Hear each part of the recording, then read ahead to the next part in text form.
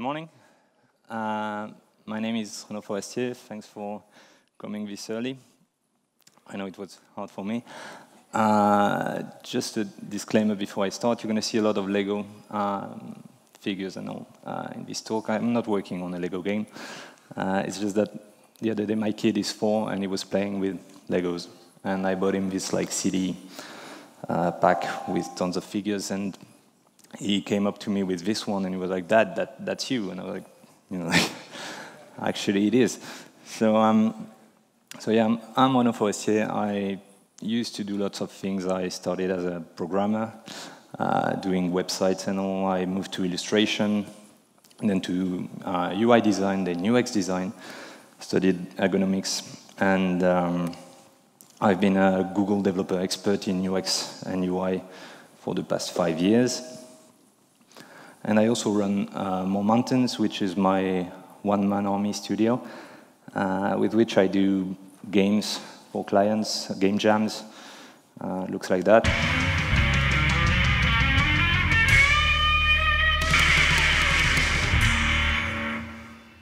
It's my shortest trailer ever. And I also do stuff on the asset store. You may have seen this around. Uh, there's the Corgi engine, which is like a platformer solution, top-down engine, a bunch of others. And for the last six months, uh, I've been working at Ubisoft Montreal, uh, where I lead a prototype team that works on an unannounced project, which I won't be able to show you anything of, of course. Um, so yeah, that prototype team uh, is made of Maxime, myself, Manu, and Alejandro, which, is, uh, which are the best people I've ever worked with. So I'm super lucky. Uh, what we do is we work within a much bigger team. We cut that large scope into pieces and we iterate on each of these tiny um, uh, aspects of the game, focusing mostly on gameplay, game feel, that kind of stuff. And we try to spend a maximum of two weeks on each uh, feature. And last year at Unite LA, I did a talk uh, focusing on how we work with that team, how we do um, uh, our fast iteration and how we try to get results super fast. And that was most of the stuff that was covered in that, that talk. It's on YouTube if you want to see uh, fun videos and stuff. And uh, today I'm going to focus on only one of these aspects, which is making your game awesome. So we'll start with some theory about microinteractions, uh, which is not something as complex as it may sound. Uh, then we'll look at some case studies deconstructing some of the um, uh, features uh, that you can increase with some, some juice. And then we'll have a look at the, the toolbox we use to do that and that you may be able to use yourself quite soon. So first of all, uh, microinteractions. So microinteractions is a term that was coined by a guy named Dan Saffer in a book aptly named Microinteractions. Uh, that's his definition of it. But um, it's really, a microinteraction is the combination of a trigger and a feedback. Uh, a trigger can be something that is uh, created by the user, maybe presses a, a, button or says something in a microphone or whatever. And then there can be system triggers, which is like uh, my character died or something like that. And if you provide, or the system provides, a feedback to that trigger, then it's a microinteraction. You've seen microinteractions a lot. They're in every app, or at least the good ones uh, that you use on a daily basis. can be a, a pull to refresh. Uh, it can be the like on Twitter, on Facebook, stuff like that. And uh, you know, the, the heart could just change color, but it, it bumps and also it makes it more enjoyable. An alarm clock is a trigger. The system tells you it's 6 a.m. and you should uh, wake up if you want uh, to be on time for your talk today. And uh, a video player is not uh, um, a micro interaction, it's a feature, but pressing the pause or play button on a video player would be a micro interaction. So why does it matter? Well, uh, of course, it lets you tell the player or the user that something uh, that he pressed has happened, you know, that you registered that input. It lets you communicate on system status. Something happened in my product. It lets the user understand causes and consequences. So that's the rules of your product, of your game. And that's really critical because if the user of a system understands the rules, then it's likely to be usable and it's likely to be understood by the player, which makes it usually uh, more enjoyable. And you can use that as an opportunity to delight and welcome, provide joy to your user. So that's a good way to define your brand's identity, your game's identity. In games, uh, good examples of that are, like, I think my, my favorite one is Mario's jump. Every time you jump, you press a button. Mario goes in the air, of course, but uh, you also get that nice sound. You get contextual animations, depending on the number of jumps or the position you're in. Uh, you get, you know, puffs of smoke in recent Mario's, and uh, it just makes you want to jump over and over and over again. Another one would be uh, God of War's axe throwing. There's a lot that happens. Uh, there are videos online deconstructing exactly what happens when you throw the axe, how it comes back, how the screen shakes, and so on. Um, this is from Anthem, and that's what happens when you trigger the jetpack. And they could just have uh, the jetpack go and, and you fly faster or something, but you know, there's this nice camera work and uh, a lot that actually happens. You get particles, you get really something that makes you feel powerful. Now you're Iron Man. And of course, there's games like uh, Vlambeer's uh, Luftrausers, which are just packed with micro interactions and feedbacks all over. And that makes for really, really enjoyable games. Um, this uh, on, on the right is uh, a demo I, I, put in the top-down engine recently. It's, uh, I think, a completely original gameplay. I don't think it's ever been done again. But um, uh, obviously, you put bombs and you destroy, you know, the, the stuff like in Bomberman. Um, and it's a good example of, I think, a, a micro interaction done right. Uh, you put your bomb, it starts blinking, it explodes, uh, makes some debris and shakes stuff. So there's a lot that happens every time you just put the bomb. When working on your game and trying to improve your micro interactions, the first thing you should do is focus on your core features. Focus on the stuff that the player will do over and over again in your game. Um, let's say you're a platformer, focus on the jumps. Let's say you're a bomberman, uh, focus on putting bombs down. And you want to make that actually fun and rewarding for the player to, uh, to do because you want to let them know doing this action is actually what you're supposed to do. So that reinforces your core mechanics. And it's also very important to focus on consistency and gradualness, if that's even a word. Um, the idea is that uh, consistency is really the idea that, uh, let's say, in this game, when the bomb is about to explode, it flickers. So now, in my game's language, flicker means danger. And it would be a bad idea to then use that same flicker for gaining health, for example. You want to be consistent on that. Uh, and gradualness is the idea that not everything has to be a fireworks, and you want your more rewarding or critical actions to be really big and explosive, but maybe just, um, uh, I don't know, you know, the, the countdown to the end of the game shouldn't maybe have huge particles every time it passes a second.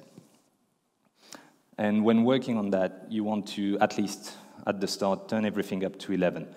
Uh, I've, seen, I've seen teams you know, working on that and uh, being too cautious, being like, no, maybe it's too much. No, it's rarely too much.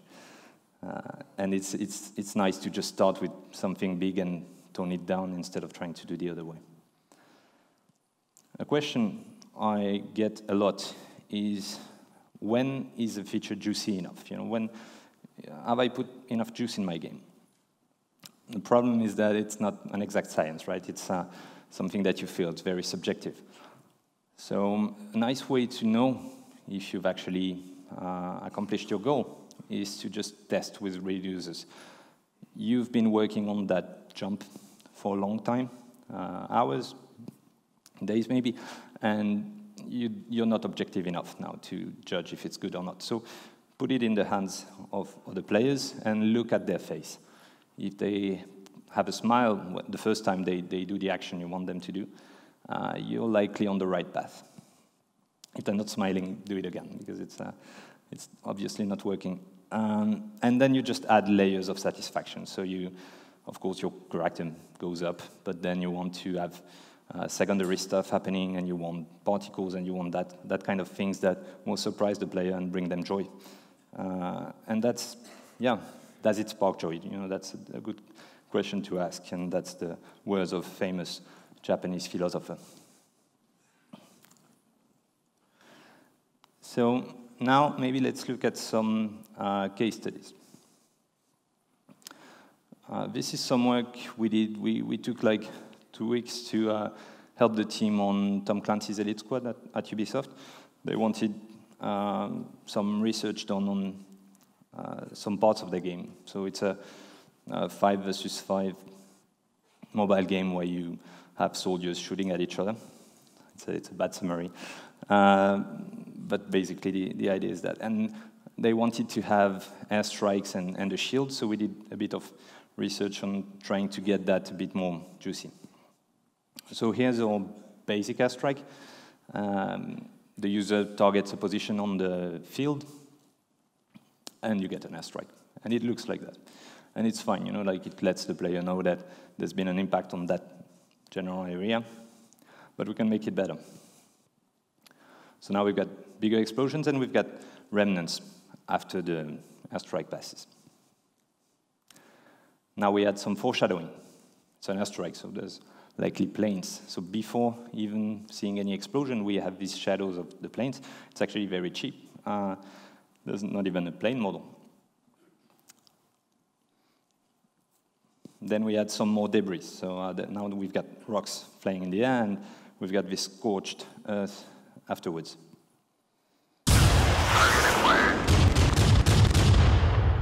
And now it's starting to feel like an airstrike. Let's just do that again. And we can make it better.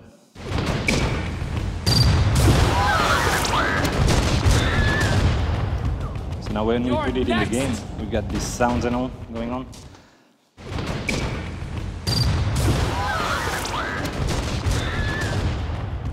And now the player feel like you know something actually happened. Uh, moving on, we wanted to try something on the shield because doing an airstrike, you know, it's satisfying. It's an airstrike. It's easy to get right. Um, but a shield is less, you know, at least to me, it's less uh, less amazing. It's less uh, enjoyable.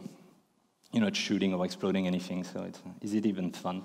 But uh, so we started with just a shield, and it's already looking nice. Uh, it's got this uh, refraction going on and this glow, and it's blue, and it lets you know that it's protective and nice. Cuddly. So uh, we just add an animation to that. It's something that the player will target one of his uh, dudes and just uh, goes over it. Now we've got sound.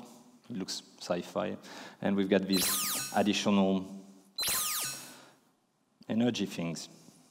What's this thing made of? Nobody knows. And now we work on effects because you're going to be shot at, right? Other people are, are, targeting you with their guns, and we wanted something that lets you know that this shield is actually armor. We add more VFX on the sides and assemble everything.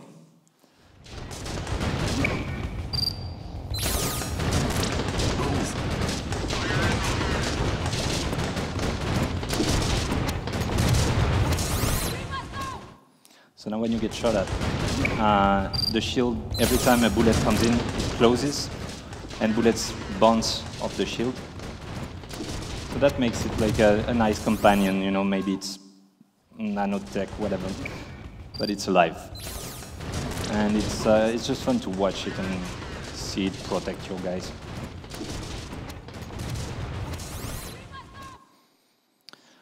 And we also did a bit of work on the uh, their menus, okay, which is usually not the most uh, enjoyable part on the, of the game, you know, not the one where you'd expect a lot of juice. Um, and this is what the menu looks like. That's where you buy packs of stuff. And um, we wanted it to look welcoming. Uh, that's where players are going to be spending their money. So uh, uh, that, that should be a welcoming place, right? Uh, and so even without any interaction, I wanted the menu to feel alive. And we've got these animations, uh, like on the currencies tab at the top, you see it blinks and all. And we could have done that by just animating the, the glow, uh, the, the emission, in this case of the sprite. Um, but it was more fun to sync it to the music. So I've got this class that I can use that uh, cuts the spectrum of the background music into pieces, and then I can hook every aspect of my game to one of these values. So uh, in this case, I think I, I took one of the leftmost bars, and every bit of the UI is actually synced to the height of the sound. So that's a very easy way actually to uh, get a nice animation because the sound does it for you. So, and if you change the soundtrack, it updates your animation automatically. So it's quite simple. And it's just fun to look at that, at that inspector thing. I, I spend hours just looking at that sound and being like, maybe I choose that bar. Um, so it's a nice tool to have. Then we worked on how the menu arrives. Uh, we did this sort of 3D effect, which is actually a 3D effect. It's not sort of a 3D effect, it's just 3D. And I, have been working on UI in Unity for the past five years or so, and uh, I just realized last month that I could just do 3D. So uh, uh, you learn new stuff every day. So this effect is actually uh, super simple. It's a scroll rect, and it just rotates like that. So it's cheap, easy, but it looks like it looks like something.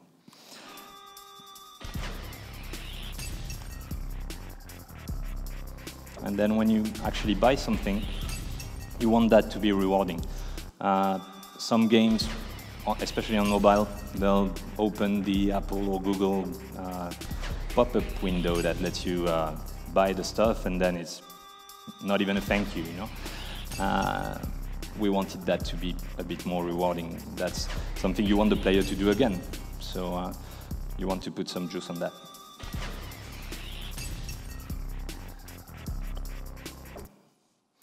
And now that we had worked on Elite Squad, we had all these nice models. So I was like, oh, I'm going to do some demos with them because they actually look nice.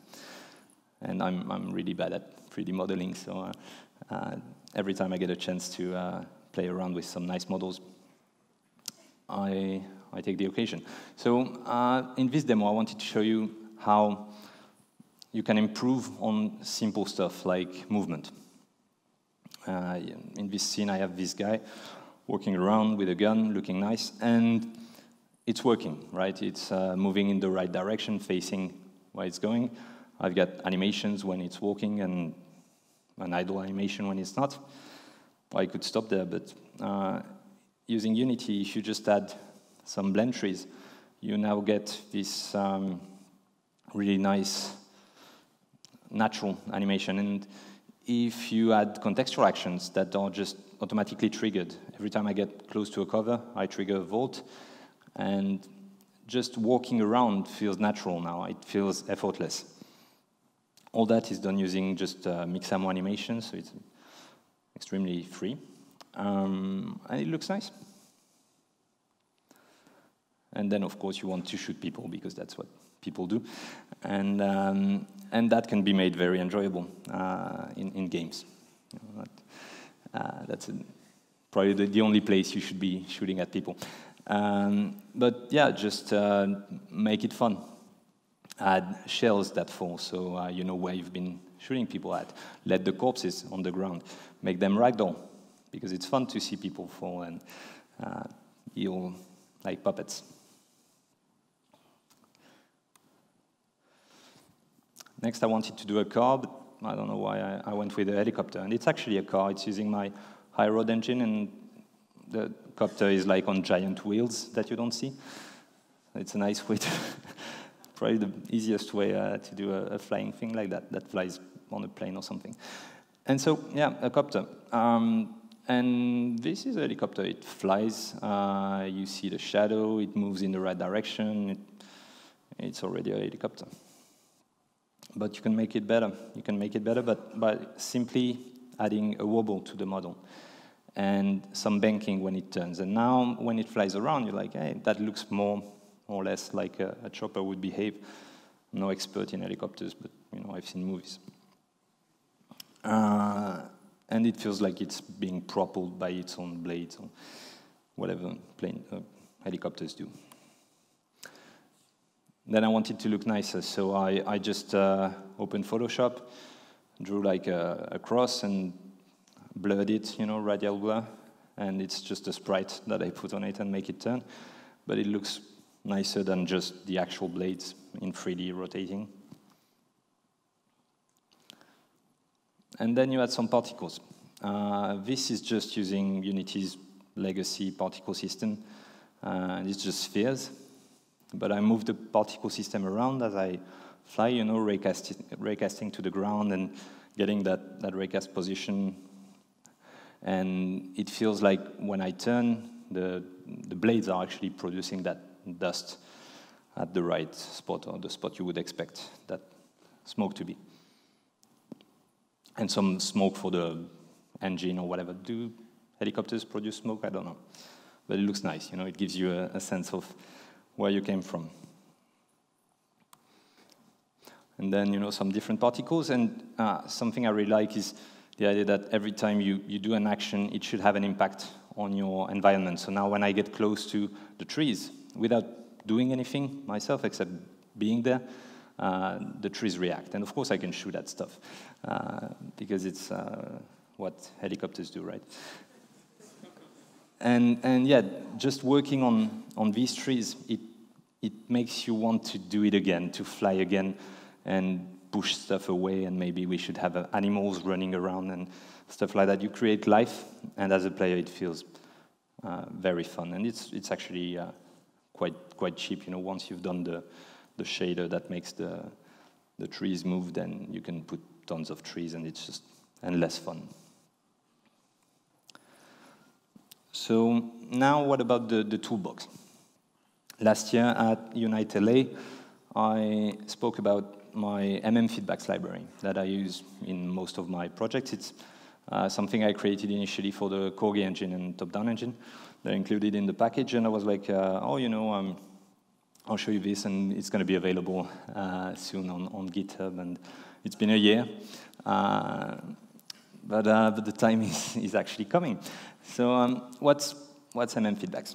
Uh, it's um, a library of feedbacks that you can use in your macro interactions.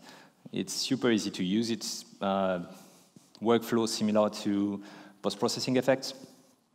You just uh, create one feedback, one feedbacks actually, and, and you add feedbacks to that.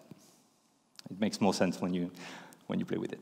And um, the, there's like a library of 30 different feedbacks, and it's extendable, so you can create your own feedbacks that are specific to your game. Um, maybe every time you do a certain action, you want your, I don't know, your, your character to do something very specific that other games don't. You can create your own feedback for that. It comes packed with a lot of, feedbacks that cover um, most of the common use cases. Uh, like this Iron Man guy on, on the right, it's uh, done only with MM feedbacks. Uh, so of course there's a model and uh, some particles, but the movement, the effects, the, uh, the camera move, everything is just MM feedbacks. I, I wouldn't say do everything with MM feedbacks, but uh, that's the kind of stuff you can do with it. So um, it comes in different flavors.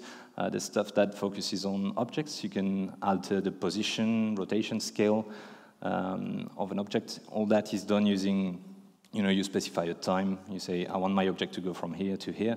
Uh, there's different options, but usually it comes also with an animation curve, so you can get all sorts of uh, unique movement that feel actually cool. You can enable, uh, disable stuff. You can flicker renderers. There are controllers that let you control any float, any vector in any monobehavior. Uh, same thing for shaders. You want something to actually blink. You want to maybe uh, increase the emission intensity of your material. And then there's a lot of stuff that is related to camera, uh, stuff for Cinemachine, which is a um, library I really, really love. Um, and a lot of stuff to control post-processing effects. So you can get, uh, you know, maybe when you, when you shoot that stuff, you desaturate uh, the whole picture. And then there's a bunch of stuff that doesn't go into any category. Uh, there's haptic feedbacks, uh, if you've got the right asset for that. But, um, also events, uh, time control, you can freeze frame, you can slow down time for half a second or something, uh, trigger physics, sounds, all sorts of stuff. And so this is how it works. Uh, for this demo, I just want a cube to jump. And uh, using a feedback, a, a position feedback, I just make it move. And it looks like that, and that's it. Thank you. Now we can make it better. So uh, the first thing I do is I add uh, a feedback that targets the scale of my object. So now I simulate squash and stretch by having uh, the X and Z scales go down and then larger and you know it's squishy. Using the same feedback, I add more anticipation. So I, I'm just tweaking curves at this point. Then some screen shake. Everybody loves screen shake. So when you, your, your cube hits the ground, it feels like it has some weight. Landing particles. So I, I just have this particle system that is idle, and every time I hit the ground, I trigger it. I say play. Uh, and all that is done because each feedback has timer options. So you can say, do this after 0.5 seconds or something. Now some charge sparks because you know this, this cube is like maybe a super saiyan cube or something and sort of collects energy before jumping. I had a secondary rotation while in the air because that's what cubes do. A bit of more screen shake when the cube is charging. Um, there I had, I think it's bloom and, uh, and color grading. So uh, yeah, when, when the cube charges, I increase the bloom, desaturate the image, and I give this result, whose quality is uh, debatable, but you know, something happens. Then I make the, um, the cube's material flicker. Add some sounds. And now it feels like it has more weight, right? It's, part of our world. Again, trying to trigger stuff in the environment is always fun. So now every time the cube lands, all the tiny cubes jump around. And this is on GitHub right now, which is uh, a long time coming, but it's all documented. You can get it for free. Um, it's a fun tool to add to your toolbox and if you've got you know uh, comments or feedbacks or want to contribute, uh, feel free to let me know using your preferred choice of communication. So, in conclusion, um, I I often get asked really uh, how how do I do juice, and again, that's not something that is very um, scientific. It's, it's more something that you, you feel. But I was like, okay, I'm, I'm, I'm going to try to uh, provide some value and, and let's come up with some sort of, of checklist. So I, I, I, I don't cook, you know, I don't, I don't know how to cook anything. Um, so I went to a website and I wanted to do a recipe or something. So I went to a website and the first recipe I found was uh, the recipe for orange juice. Uh, because like an idiot, I typed uh, juice recipe in, in Google. And uh, I don't know what to expect, but so to do orange juice, you need oranges and you press them. That's, uh, that was the recipe. I wanted to look at what does a recipe look like, you know, and bad example maybe. Uh, so to do juice uh, in, in, in games, the first thing you want to do is focus on the timing, pick the right timing. And by that I mean not only the the duration of your effect, your animation, your whatever, uh, but also at what point in your game should that happen. Probably the most uh, used action. And then you make it consistent. you focus on deciding on a feedback language for your game. Flicker means danger.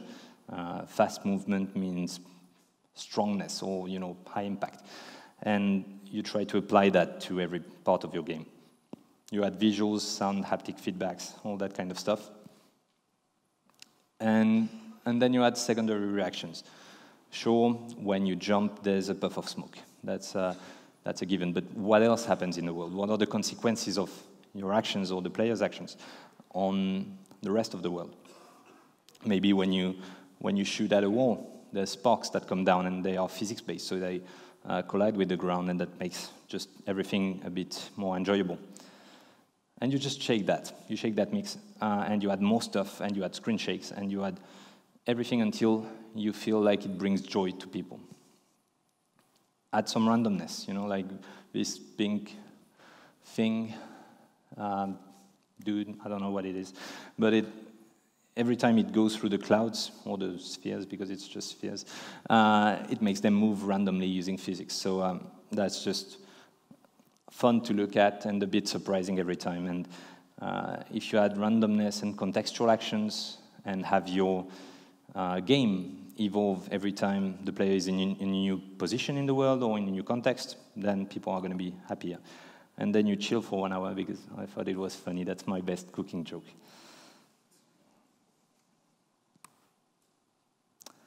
I forgot one slide. Yeah.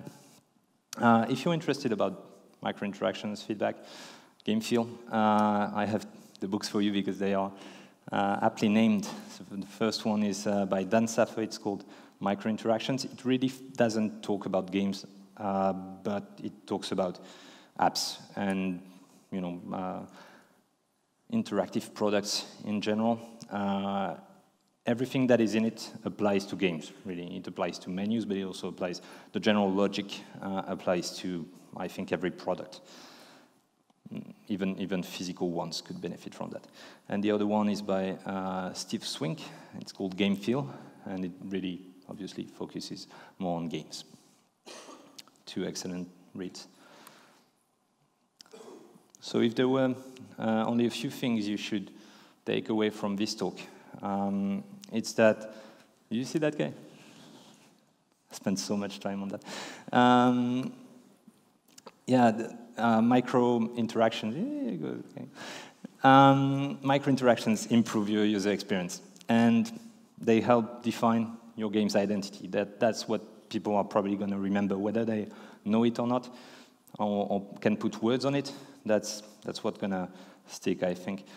And when doing that, you want to make your core mechanics uh, especially awesome. I think we should just wait for him to come back. Uh,